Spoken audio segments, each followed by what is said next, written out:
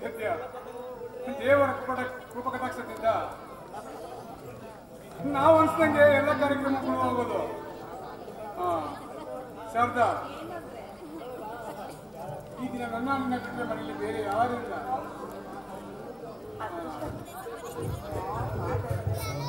ಯಾಕೆ? ಬೇಜಾರಾಗಿದ್ಯಾ ಯಾಕೂ ಇಲ್ಲ ರೀ ಶಾರದಾ ಏನ್ರಿ ಬೇಜಾರಿಲ್ಲ ರೀ. ನಮ್ಗೆ ಅದೃಷ್ಟ ಬಂದಿದ್ಯಲ್ಲ. ನಾನೇ ಬೇಜಾರಾಗಿರ್ಲಿ ನಾನು ನಗ್ತಾ ಇದ್ದೀನಿ ಅಷ್ಟು ಕಾಣಿಸ್ತಿಲ್ವೇ ತಮ್ಗೆ? ಅಮೃತನ್ಗೆ ಒಳ್ಳೆ ಗಂಟ ಸಿಕ್ತ? ಕೃಷ್ಣನ್ಗೆ ಮಾರ್ಗದಲ್ಲಿ ಒಳ್ಳೆ ಕೆಲಸ ಸಿಕ್ತು. ಇಂಥ ಸಂತೋಷದಲ್ಲಿ ನನ್ನ ನಿನ್ನ ಮನೇಲಿ ಯಾರು ಇಲ್ಲ. ಈ ಅದೃಷ್ಟದಲ್ಲಿ ನಾನು ನೀನು ಹೌದು ಅಂದ್ರೆ. ಅದೃಷ್ಟ ಅನ್ನೋದು ಯಾರನ್ನ ಹೇಳಿ, ಕೇಳಿ ಬರೋದಿಲ್ಲ. ಕ್ಷಣ ಮಾತ್ರದಲ್ಲಿ, ಕ್ಷ- ಕ್ಷಣ ಮಾತ್ರದಲ್ಲಿ ಬಂದು, ಕ್ಷಣ ಮಾತ್ರದಲ್ಲಿ ಮಂಗರ ಮಾಯವಾಗ್ಬಿಡುತ್ತೆ. ಜೀವನ ಅನ್ನೋದು ತುಂಬಾ ಸೂಕ್ಷ್ಮ ಕಣ್ರಿ. ಅದನ್ನ ಅರ್ಥ ನಡೆದ್ರಿ ನಮ್ಮ ಜೀವನ ಹೂವಿನ ಹಾಸಿಗೆ ಆಗಿರುತ್ತೆ. ಇಲ್ಲ ಅಂದ್ರೆ ಮುಳ್ಳಿನ ಹಾಸಿಗೆ ಆಗುತ್ತೆ. ಅದಕ್ಕೆ ಅದನ್ನೆಲ್ಲವನ್ನು ಅರ್ಥ ನಾವು ಜೀವನ ಮಾಡಿದ್ರೆ ನಮ್ಮ ಜೀವನದಲ್ಲಿ ನಮಗೆ ತೃಪ್ತಿ ಸಿಗುತ್ತೆ. ಶಾರದಾ ಆ ರೀತಿ ಸುತ್ತಿ ತೃಪ್ತಿ ಸಿಗಬೇಕು ಅಂದ್ರೆ ನಾನು ಏನ್ ಮಾಡ್ಬೇಕು ಹೇಳು?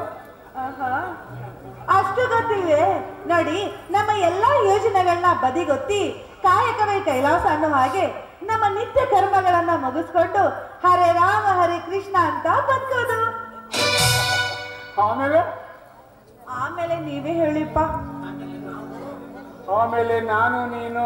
ಅಯ್ಯಯ್ಯೋ ಬೇಡಪ್ಪ ಈಗೆಲ್ಲ ಮಾಡ್ಬಿಡಿ ನಂಗೆ ನಾಚಿಕೆ ಆಗುತ್ತೆ ನಂಗ್ ನಾಚಿಕೆ